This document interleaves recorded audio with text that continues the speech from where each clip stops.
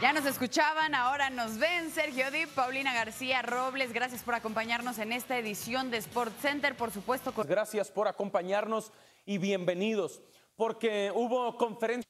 Por su parte, la periodista Beatriz Pereira de Proceso ha estudiado eh, estos fenómenos que se dan en el fútbol y la violencia durante mucho tiempo y esto fue lo que platicó con nuestro compañero Hernaldo Moritz. Muchas gracias por um, habernos acompañado en uh, Sport Center. Nosotros, Pau, seguiremos aquí todavía unos minutos más, aquí mismo, a continuación, porque sí estamos por cumplir ya 24 horas exactamente de que iniciara esa violencia en la corregidora y tendremos más detalles, evidentemente. Así es, para que nos acompañen con todos los detalles y lo que suceda respecto a esto.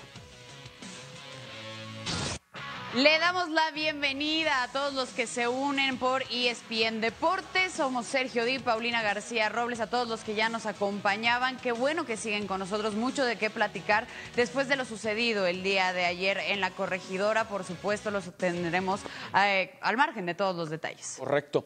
Por ahora la información oficial es cero detenidos.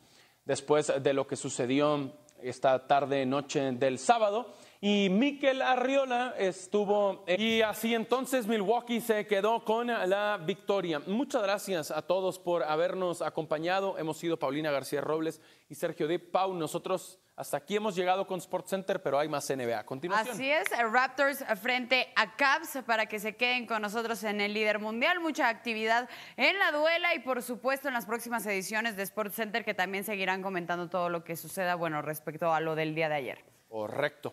Así entonces, que sea un buen domingo para todos y que disfruten de la NBA a través de ESPN. Muchas gracias y por la noche más Sports Center, pero ya no con nosotros.